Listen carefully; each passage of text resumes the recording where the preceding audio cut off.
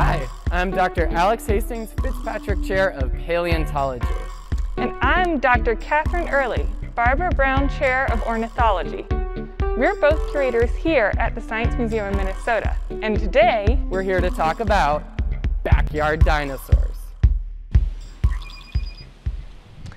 Feathers are found in all adult living birds. It's one of the features that defines them. Feathers are delicate things and they very rarely show up in the fossil record.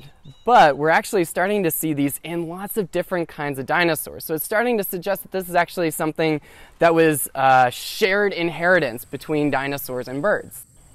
And in fact, feathers develop directly from scales. So scales and feathers develop from the same kind of tissue and what that tissue develops into is determined by the genetic code for that animal.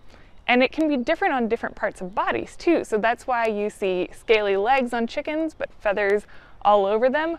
Or you can see in some types of chickens, like Silkie chickens, they can have feathers all the way down their legs where they would normally have scales. Now, because T Rex fossils uh, have only been found in places where we don't really get that kind of uh, preservation where you're actually getting feathers, we don't really know if T-Rex would have been covered in feathers, would have had some kind of feathers. But recent evidence of uh, relatives of T-Rex were found with feathers on them. Some of them were even really big.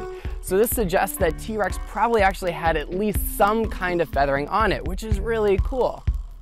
That's all for this time. About the dinosaurs we see every day.